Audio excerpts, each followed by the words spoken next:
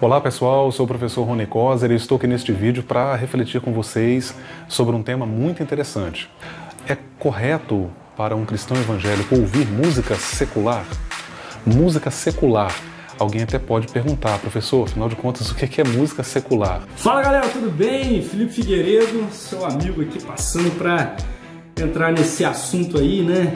É, falando sobre a música secular, a música gospel. É um assunto que é muito complexo, é, tem muitas discórdias, muita, muita coisa, mas eu quero dar meu ponto de vista. Tá? Meu ponto de vista é o seguinte: eu, eu me preocupo muito mais com as essências dessas questões. Então, assim, tem muita viagem, né? Motivações erradas. Existe um mercado gospel que é um dos mais férteis e lucrativos, independente de, de espiritualidade. Poxa.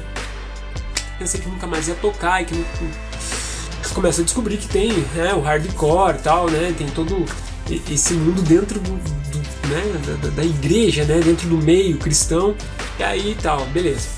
Só que as músicas eu não consegui mais ouvir as músicas que eu escrevi antes da conversão, as músicas que eu escrevi, as músicas que eu ouvia, eu não ouvi, não consigo ouvir mais, não consigo. Porque aí eu começo a aprender, que foi algo assim que eu não aprendi vendo, lendo, assistindo, pesquisando. São coisas que foi acontecendo comigo, coisas que parece que vai me abrindo a visão para algo.